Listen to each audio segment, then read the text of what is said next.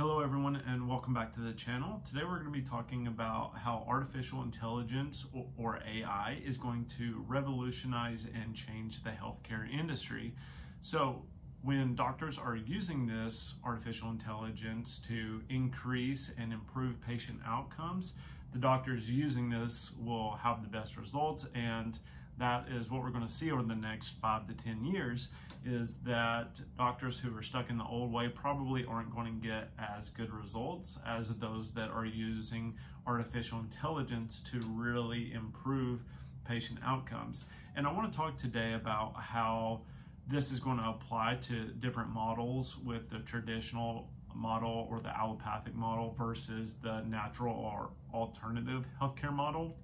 And just where this is going to go and how you can utilize it to the highest leverage in order to get better uh, results and to help resolve your chronic conditions. Now, I asked um, artificial intelligence the other day on ChatGPT. I asked it what were the outcomes when it looked like somebody got the diagnosis of diabetes. And it gave several different answers, and I'm going to go over those at the end of the video and I'm going to talk about how I'm using artificial intelligence in my practice to help me uh, achieve better outcomes and to communicate with my patients better so that they can understand the prognosis and help understand the outcomes if they aren't proactive in their health and how we need to be very uh, proactive when it comes to reversing these chronic health conditions that we see like diabetes, heart disease, neuropathy, whatever it may be. So let's go ahead and dive into it. And if you haven't already, please uh, hit the thumbs up button, share, subscribe to my channel. It really helps the channel out to get this information out to more people so that they can understand how artificial intelligence is going to really help them take control of their health. So now, when it comes to artificial intelligence, um, it's going to have the potential to save more lives and to improve patient outcomes whether you're um, you know using medication whether you're doing an alternative um, method such as supplements or diet recommendations it's actually going to be able to tailor these to any of the data that you give it. So if you give it your height your weight your age your sex all of that is going to be able to utilize that and give you the highest likely outcome in reversing whether it's diabetes, heart disease, neuropathy, whatever it may be. And it's going to be able to pull all of the research from the web in order to give you that information. So these machine learning algorithms can analyze vast amounts of patient data. So it's not only going to be uh, your data is going to be patients all around the world. Um, and obviously, with that, there will be certain companies who take that over and comply with HIPAA in order to use that information. But in order to get the best results, the more data this has, the better the outcomes are going to be. So it's going to be able to analyze this patient data, including the medical history, lab results, imaging scans uh, in order to make physicians or healthcare providers um, have the best um, result and best outcome and to help them tailor their treatments. this means that diagnoses are going to be faster for pre-diabetes if you're at risk for strokes or heart disease or cancers then this is going to be able to take all of that data and turn it into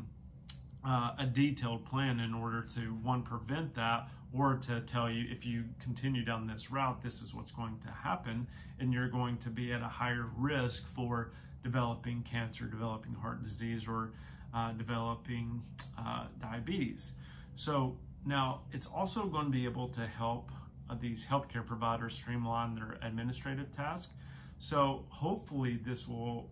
uh, give practitioners the ability to focus more on patient care. Now, I don't think that it will completely replace healthcare practitioners in the next five to 10 years, but I think that it is going to be a huge uh, integration in order for them to be more effective with their treatments and their outcomes. So uh, it's eventually going to get to where It's going to do the scheduling of appointments, maintaining the health records, and even the billing can be automated so that it's going to relieve all of that administrative uh, stress and allow the doctors to really focus on what they need to patient care because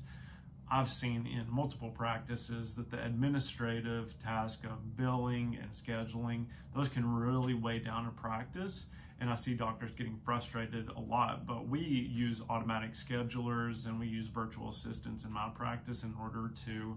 um, reduce that. But I think eventually we'll look at integrating an AI virtual assistant in order to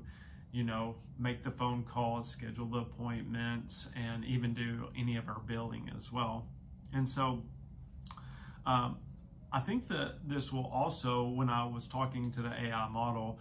it will integrate to where you will get a device that you're going to wear that is going to monitor all of your biometrics. So from heart rate to respiration rate, probably even um, your blood to some extent, monitoring, you know, electrolyte levels. If you have any active infections, viral infections, um, it's probably going to monitor your temperature and it'll have warning signs like when you need to go get a checkup, when um, it'll probably be that you can do a blood draw at home or you know somebody will come to your house and, and, do it and then you won't even have to worry about going to the doctor anymore because they'll analyze that and tell you what's wrong and then send you um, a protocol or medication or supplements in order to reverse that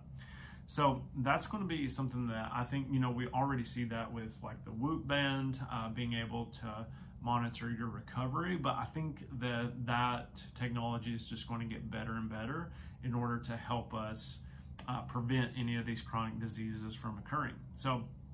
uh, and then I think also with that, what it will do is it will give you feedback. So one of the ways that we test for food intolerances or food sensitivities in our program is that we have patients wear a uh, pulse oximeter on their finger when they eat certain foods after doing a cleanse. And if we see their heart rate spiking when they eat those certain foods, we know that it is causing stress to their body because just like if you see a tiger, your heart rate is going to shoot up. If you're eating something and it's causing an inflammatory cascade, it's going to cause your um, biometrics to elevate and to um,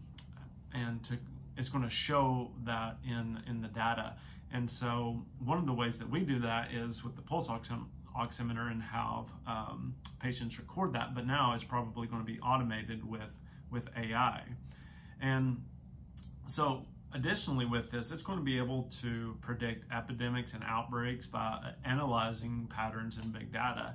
So let's just say, for example, like malaria or something like that, it's going to be able, if everybody has these uh, data bands or if we have this collective cloud where all this information is going to, it's going to be able to tell us and help us prevent any epidemics or pandemics from happening and it's going to allow us to quarantine that and help us um, take control of it a lot faster, which is another big benefit to not only yourself but the overall population.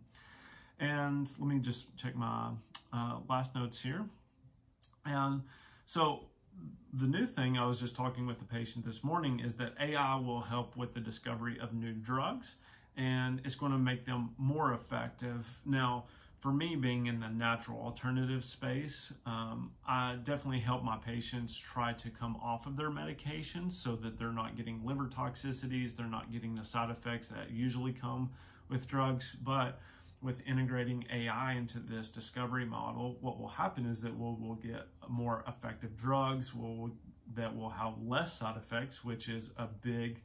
uh, addition to it. But I think it's also going to help us improve our supplement protocols because it's going to be able to analyze your blood work to see if you have any vitamin D deficiencies, but maybe you need a certain amount of vitamin K that is low in order to absorb the vitamin D, but you also need vitamin C for your collagen and bone health because you have signs and symptoms of osteoporosis. So there's going to be some really neat stuff that comes out with this. And um, while AI offers this tremendous potential, uh, it's important to address concerns surrounding privacy and ethical considerations. So, safeguarding patient data is going to be the biggest issue when it comes to this. But if we can figure that out, then it, this is really going to change the healthcare industry and make it better, in in my opinion. Like I said, there is all there are always pros and cons when it comes to uh, any type of new advancement but this can really revolutionize uh, the healthcare industry in order to make it more effective and to help people take action when it comes to their health and prevent these chronic diseases that are rampant in our country uh, today. So